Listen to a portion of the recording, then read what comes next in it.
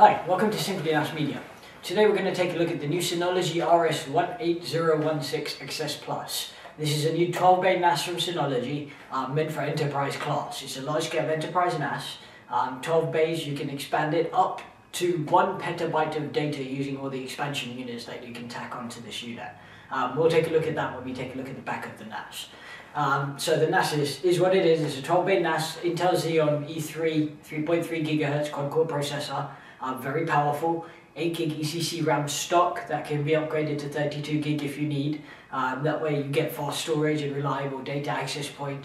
The reliability of this unit is new, but we, we expect it to be as reliable as all the other Synologies have been. Um, the architecture is not new in this NAS, it's what we're used to already, so we're not worried about the reliability of new things being implemented. However, the machine in itself is completely new. Um, so what we have here is it's a new class of its own. It's not an upgrade from any machine. The RS10613 is still around. We do anticipate an upgrade for that unit at some point, not necessarily this year, maybe next year. Um, so this NAS really is by itself. Uh, it's 12 bays, redundant power supplies, redundant um, SAS ports at the back for your expansion units, redundant RJ45s. Um, we'll talk a bit more about that when we go around the back, just taking a look at the front. It is what you're used to with Synology at the front. and pull it back here a little bit. Um, so you've got your bays at the front that lock, and then you've got your power button, um, and your reset button and your indicator LEDs. Um, it's basically what we've always been used to with Synology. They haven't changed anything in that aspect.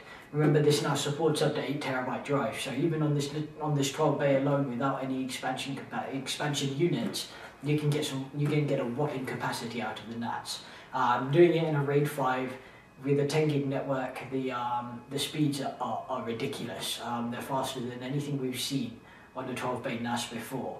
So because of that, we really do recommend it, especially if you're in a VM environment and you need fast access storage.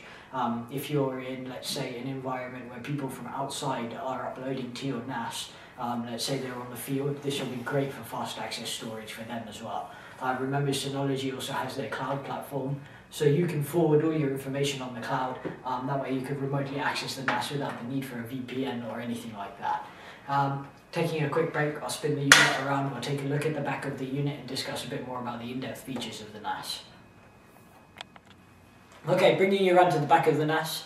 Um, as you can see, it's what we're already familiar with in the Synology. There are a few little changes, but aside from that, it's basically what we're used to with the 10613.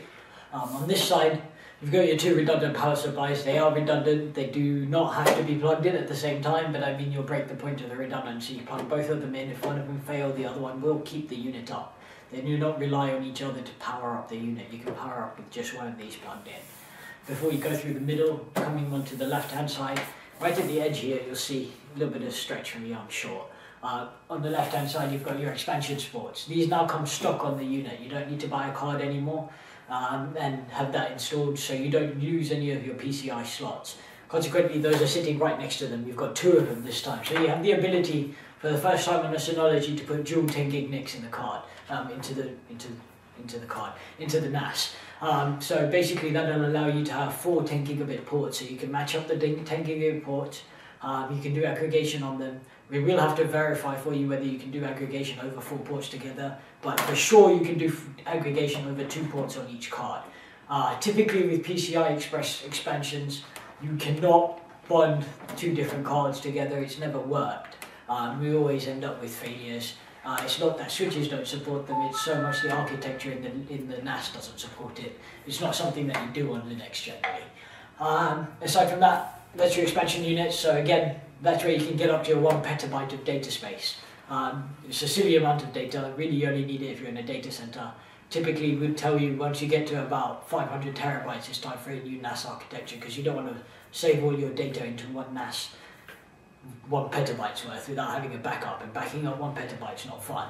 But that being said, you do have the ability to expand all the way up to one petabyte if you do need to. Um, going through to the middle of the NAS, looking just here on the side, there's one, two, three, four RJ45 ports, so that allows you to have a 4 gig uplink. These ones can all be aggregated together because they are on board.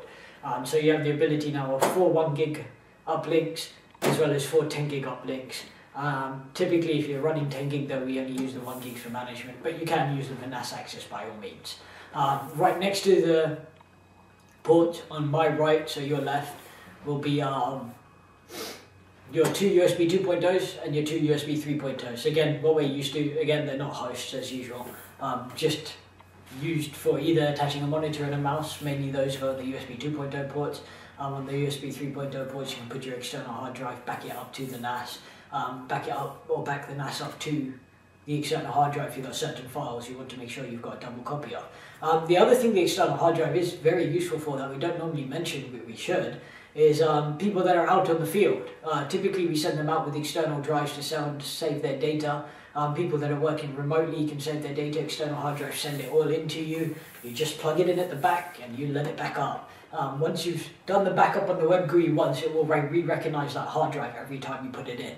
Um, so it'll do that backup automatically after that. Uh, of course, there's a checkbox for you to, check to, say, check to say when you do um, insert this hard drive, do a backup. So the first time you do that, there's a bit of a setup, but after that, there's not. But that's per different um, external drive. So if you've got five of them, you'll have to do that five times over before it becomes an automatic procedure.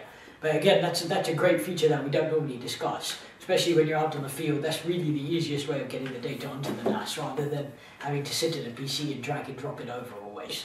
Um, aside from that, that's really the back of the unit. You've got your comms port here.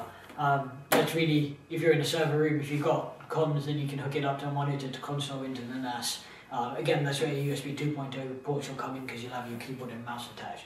Aside from that, the comms port isn't really used for anything at all. Um, Synology may ask you to use it at some point for debugging if you do have an issue with the unit.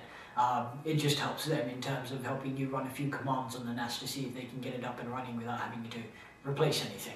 Um, but that being said, we hope this machine is very reliable and you don't have to do that at all. Um, but that being said, that's the back of the NAS. We'll bring you around the front, summate the video and make sure you've got all the information you need. Okay, bringing you back around to the front. So that's basically our video on the new Synology RS18016 XS Plus. Um, you'll also hear it being called the 1801 XS, 1816 XS Plus. Um, it's a bit of a tongue twister, we'll get used to it once we're used to the NAS. Um, this is their new large-scale enterprise NAS. It's, it's, it's a great NAS, very fast. Um, really when it comes to large scale enterprise, reliability is important, but speed is really what we look for. We don't expect this not to be reliable, but we're going to always drum home about the speed because it, it is a fast NAS. Um, and that's really what we need when we're sitting at there. It's fast enough to be your first level of storage. Typically, we don't ever endorse anything to be first level of storage for enterprise businesses. Um, NAS should always be your secondary storage. But that being said, in this instance, because of the speed of the unit, because of the spec of the unit, because it is more of a server grade NAS, um, definitely great for your primary storage. You can also use it as your secondary or tertiary storage as well, of course. Um, if you do use it for your primary storage, remember, have a backup. Always have a backup of your NAS. Um, so even if you don't buy it immediately, buy a second one. Not necessarily the same NAS, just make sure you've got the same data space available to back it up. Um, that being said, remember these XS Pluses are capable of high availability.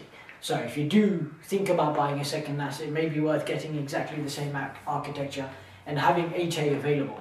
Um, that will use one of the SAS ports at the back, so bear that in mind when you do do that, because the cables do cross over using the SAS ports. But that being said, you've got two of them now, so you can still use an expansion unit but if you tack on an expansion unit to your head unit, you have to tack it onto your second unit. The architecture must be exactly the same. Um, aside from that, that's really our notes. If you have any other questions about the NAS, as always, give us a, give us a call, 407-960-4690. We'd love to hear from you. Alternatively, you can email us, sales at simplynas.com. If you did like enjoy the video, hit the like button. We do like seeing you hit the like button. It just as the sun gets getting some more videos done for you. Um, if you don't like it, leave us a comment. We want to know why. Um, don't shy away from giving us criticism. We love our criticism. Don't be mean, but we do love our criticism. We like to get better for you guys. Um, and of course, subscribe to the channel. That way you get notifications when we do post these videos. They are good for you. They give you a little bit of a technical insight into the NAS before you even call us, before you even buy it. That way you know what you're looking into without having to wait for us. Um, but that being said, if you don't have a clue, give us a call. That's right, we're the NAS experts. Give us a call, 407-960-4690. Again, email sales at simplynas.com. Thank you and have a wonderful day.